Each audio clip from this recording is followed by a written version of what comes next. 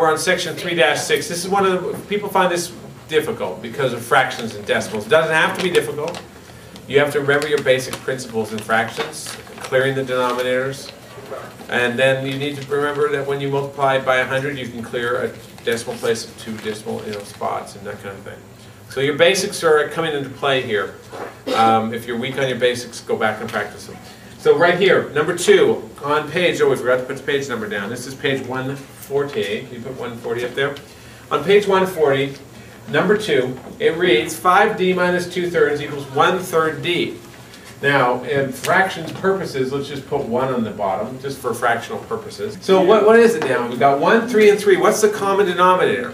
What number could we multiply each of those by, and that would just then cancel out the bottom? Yes, Raman? 3. 3 is right. And let's do it in a different, you want to do it in black if you can just make it nice.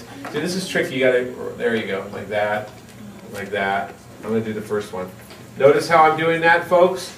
right beside, I'm basically multiplying 3 times 5 over 1d. This one, right, Charlie? 3 goes into 3 how many times? Once. Once. All right, and 3 goes into 3 how many times here? One time. So, what's left over? 3 times 5d equals what? 15. 15d. Go ahead and write this down. Then this is equal to minus 2, right? You'll, we'll do some more. And this equals 1d, okay? Again, see how nicely that just, we wrap that up? We rolled that bowling ball down at 3. We rolled it, bang. Rolled it, knocked that bottom out, knocked that bottom out. They're gone, right? And 15d minus 2 equals d. Now we're home free, almost. Let's subtract d on both sides. We just learned how to do that, right, Adam? Finish the problem, Adam. Subtract d on both sides. What do you get? 15d minus d equals? Okay, 15d minus d. Uh, this part's 0, yeah, that part's 0. But 15d minus d, 15d minus 1d, maybe that helps you. 14d, good job. 14d minus 2 equals 0. Yeah, now, remember, we have d minus d are equal to 0, as Adam said. Now what do we do on both sides? Adam, continue to focus. Uh, So- or a subtract. No, you do the opposite of negative 2. You would add. Add Two. 2, yeah. right? So we are, then we get 14d equals 2. And Raman's going to finish it off. 14d equals 2. 14d equals 2, and then don't you divide, Divide by what? divide by 14? That's right. And we're going to do it in, Isn't and it we're running out of place. We're going to put it up here, Put okay? D equals 7. 14d equals 2. We, yeah, it will be equal, no, d will be over to 1 7. Yeah. Is when you, yeah. There you go, good job. You getting that, wrong? Are you getting that? uh, d equals 1 over 7 to make it nice. You're following the rest, right? It's just that first trick that you're, Yeah. we'll go over it again. Okay, so we're gonna box that. You getting a good job on that? Hello. Okay, we're doing number 10 now. Uh, This question, a little bit harder because the denominators are a little more complicated. We have 3 on the bottom and 15 on the bottom. Uh, We're not really worried about that. That has over 1. Uh, 1 is pretty invisible, it doesn't really affect anything. So, and this is over 1 as well, so that's not going to affect anything. The denominators that are going to bother us is 3 and 15.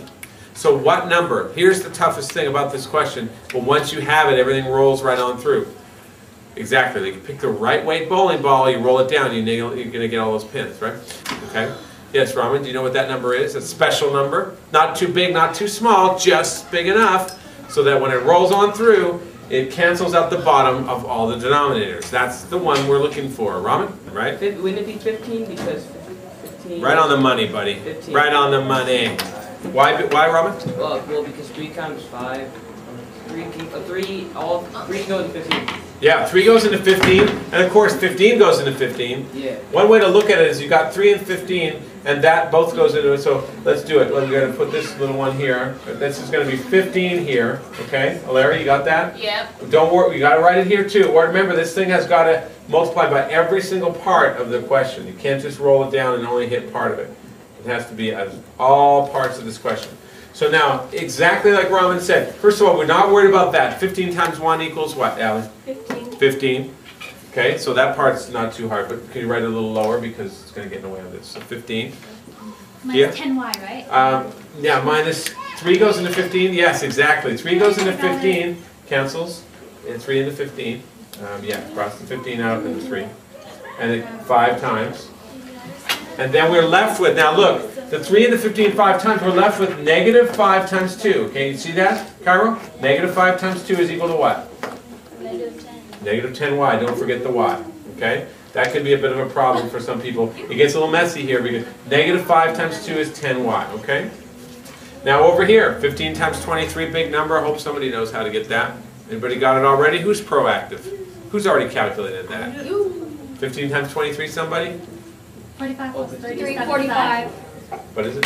Three forty-five. Three forty-five. Oh. Good job. Whoa, how did Three I figure that forty-five, and then minus fifteen into fifteen, how many times, keeper?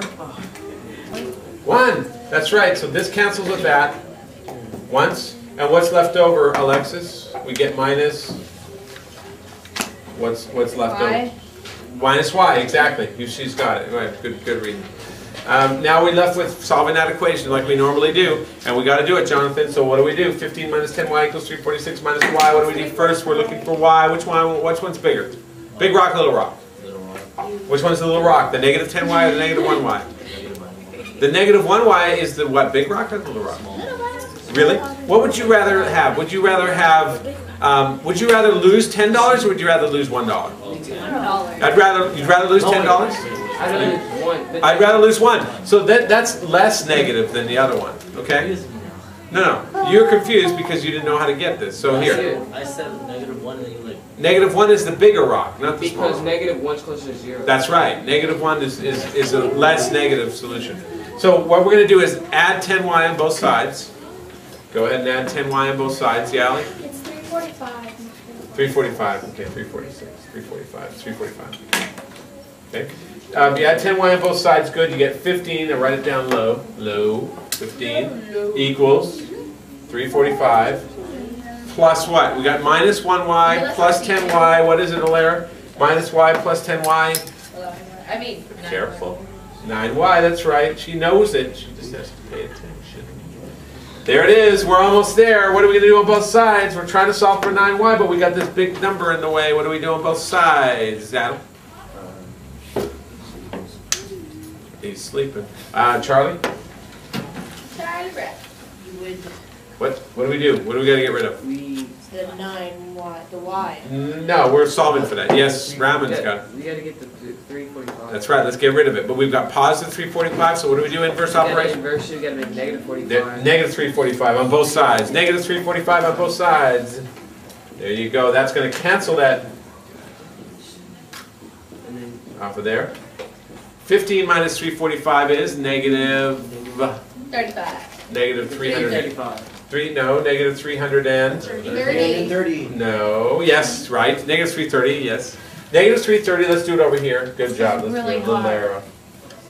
Negative three thirty equals nine y, negative three thirty equals nine y, and now, to finish this off, to get it done, the finale, solving for y, what do we do on both sides?